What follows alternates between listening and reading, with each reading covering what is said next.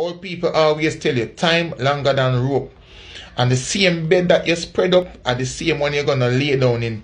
You have some persons that will go to the end of the world to destroy a person's life, to mess up your reputation, to assassinate your character, to tear your family apart, mess up your marriage, your ministry, your business, everything positive around you they try to destroy for their own personal gain and laughter. But let me tell you, you laugh now, but you will cry later.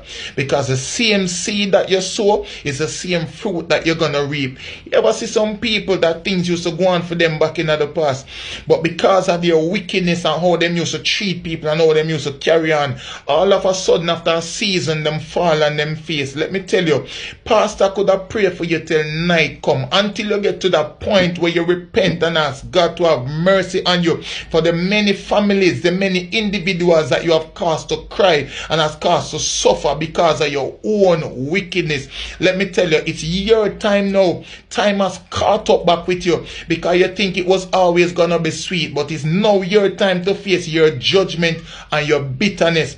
Let this be a warning. Do good and good will follow you. You don't have to do people bad in your life. Just stay in your own lane. Focus on you with God being your guide and your shield. Let me tell you, you will accomplish just about anything. You don't have to tear down nobody if you make it, man. Just trust God, do the right thing, and you will make it. Listen to me. Wise words.